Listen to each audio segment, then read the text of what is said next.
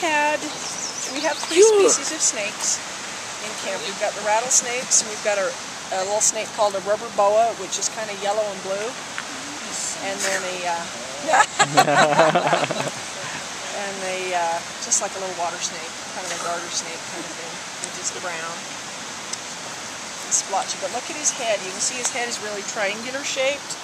That's how you can tell. If you see a snake with a big triangular head like that, it's probably a rattlesnake.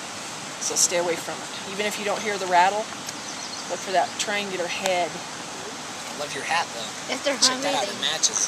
Diamondback. There you go. They found that snake right over there by that bridge.